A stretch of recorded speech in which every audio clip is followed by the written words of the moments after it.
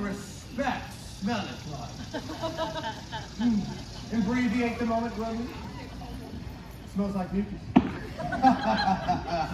that I, Orville and the Master of Revels, what should my first we're pulling the licensing for Lady Little Rose. I own all of her theaters now, so we're gonna do Disaster Piece at Boar's Head. We're gonna do Who's Just at O'Malley's Pub. Nice, simple. What else? Nobody else is allowed to wear green. That's a me thing. It's a branding thing. Similarly, nobody else is allowed to say nuts as an expletive. That's a me. And that's ominous charity. But it certainly can't be anything supernatural. Halloween's not for seven more weeks. How did I know that?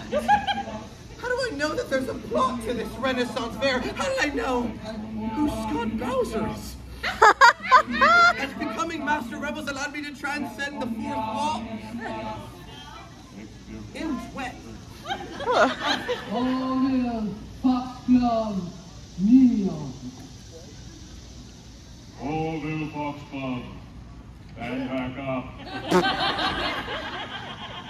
Orville Foxglove, the time has come for thy induction into the noble brotherhood of the Masters of the Guilds of Mount Hope. And sisterhood. The noble brother and sisterhood of the Masters of the Guilds of Mount Hope. Max family. Ooh, I like family.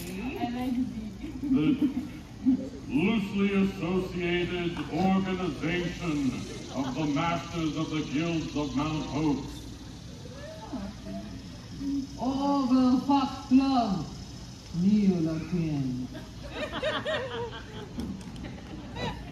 Orville Foxglove, in order to prove that thou art worthy of the title Guild Master, thou must pass the test. the test. Must answer this query. What is two plus two? Four! Easy. Nailed it. Ooh. Flexibility, must do both splits right now.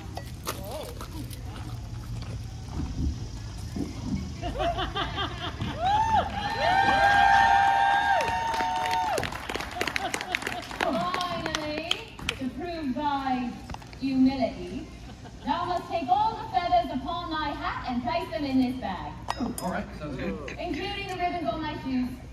Thou dost not have to do that, Orville. Give them to me. Cassie, stop. Who's Cassie?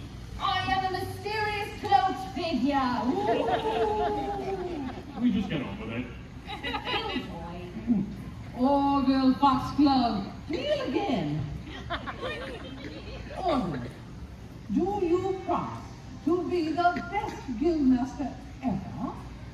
Do you promise to treat your members with the utmost respect and regard? And do you promise to pay your guild taxes on time?